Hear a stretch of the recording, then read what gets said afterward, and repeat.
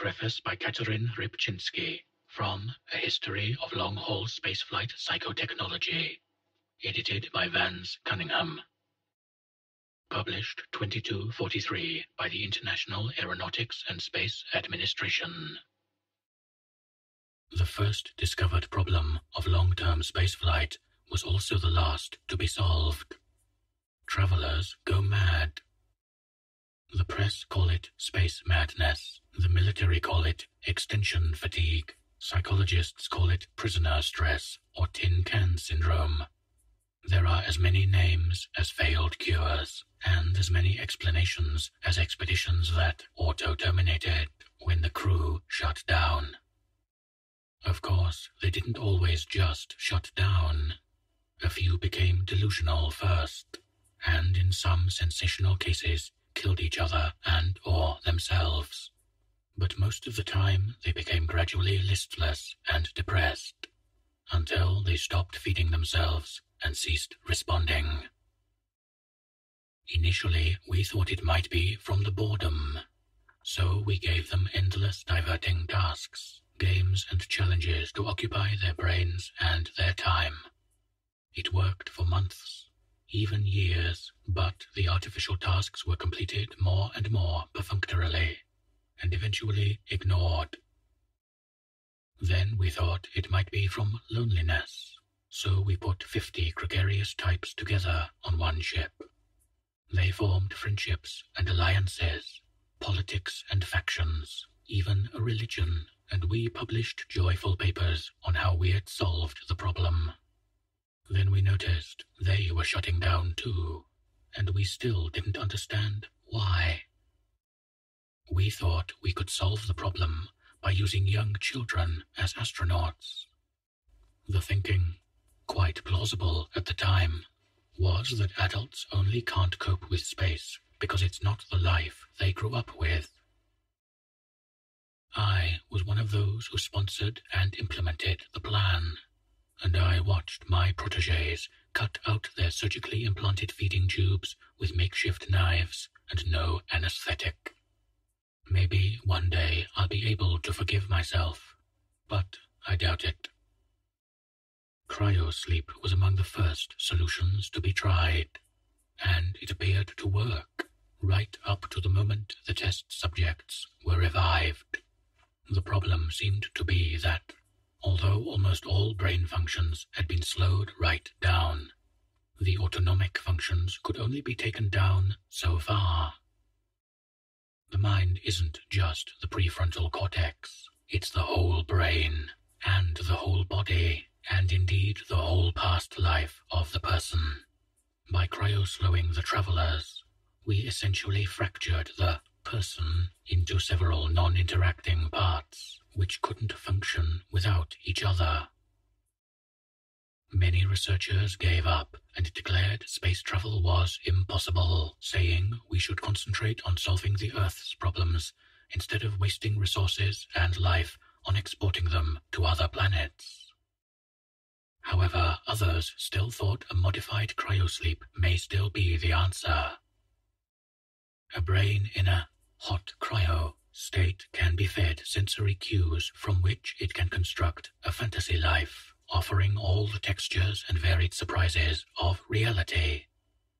This is not virtual reality, nor is it the same as REM sleep. And this is not hallucination. We did briefly try placing subjects in indefinitely extended REM sleep, but found continuous dreaming for more than 36 hours was impossible though we're still not sure why. Non-stop drug-induced hallucination and permanent VR were obviously not viable for the necessary timescales. However, the sensations inducible in hot cryogenic storage have a detailed and real quality absent from ordinary dreaming, and the parameters of the narrative are much more tightly controlled, consistent, and believable kept that way by the computer, or dream machine, as the media christened it. Essentially, under the computer's constant guidance, the traveler lives a full virtual life, not limited to rearranged components of their former real life. They are given a whole city to explore, even a whole world, with a never-ending stream of complex but soluble problems. There is even the appearance, but not the reality, of danger and grief, without which lives become initially pleasant but quickly stale. We discovered this last the hard way by immersing earthbound test subjects into their individual notions of a blissful existence. In only days, they all exited the simulations in panic, unable to endure what had become the most banal of hells. In tests of the more gritty scenarios, subjects responded well to spending a year in their alternate lives while their bodies were maintained mechanically, even preferring their slightly novelistic fake families and friends to their real ones. There were, however, two remaining problems. One year in alt life was stimulating. Five years was probably bearable, but the dozen or more centuries that might be needed for a complete journey to a distant planet, that was a different matter. The first problem was that no matter how stimulating the artificial challenges provided by the computer, Eventually, their very artificiality made them uninteresting. The second was that, while someone could, in principle, have their interest and their body maintained for two or three thousand years, by the end they will have developed a mental state indistinguishable from space madness. It seems people just can't cope with that much living. The solution to the first problem was controversial but successful, and developed by several of the authors of this work.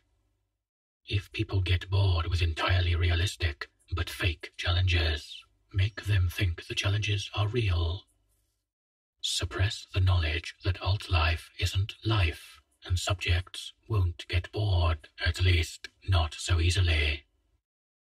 The second solution is to have several alt lives lived in a row, each of 40 to 80 years. After each, memory of it is made inaccessible, but not erased, and a new life begins. While it is theoretically possible to begin at birth each time and progress to old age, in practice, the subject is best reborn as a young adult each time. In the pages that follow, my colleague, Dr. Cunningham, will take you through this history in much more detail than I could manage, and I suspect with much greater flair. He and I are both proud to have dedicated our real lives to this problem, and to have made interstellar colonization a possibility as well as a necessity.